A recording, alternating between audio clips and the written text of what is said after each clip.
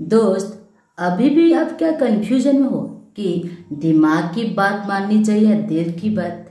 Don't worry guys मैं बता दूँ कि कैसे करनी है सही डिसीज़न यानी दिमाग की बात माननी चाहिए या दिल की बात?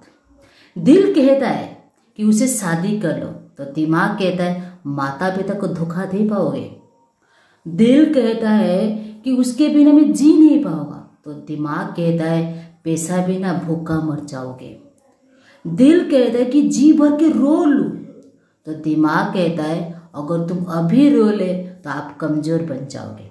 दिल कहता है कि सारी बात में बोल दू तो दिमाग कहता है, खुद की भी कुछ इज़्ज़त है।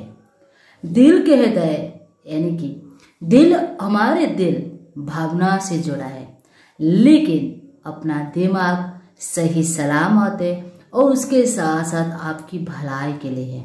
तो इसीलिए अगर अभी तक आपने वीडियो को सब्सक्राइब नहीं किया है तो मेरा जो हार्डवर्किंग है वो कहाँ जाएगी? इसीलिए सब्सक्राइब कर लो शेयर भी कर लो और फिर से बोल रहा हूँ कि आपकी दिमाग की बात माननी चाहिए, दिल की नहीं। क्योंकि मैंने आपको एग्ज़ाम्पल तरीके से बताया कि दिल क्या चाहती है और दिमाग क्या चाहते हैं। State to Amrit Sudha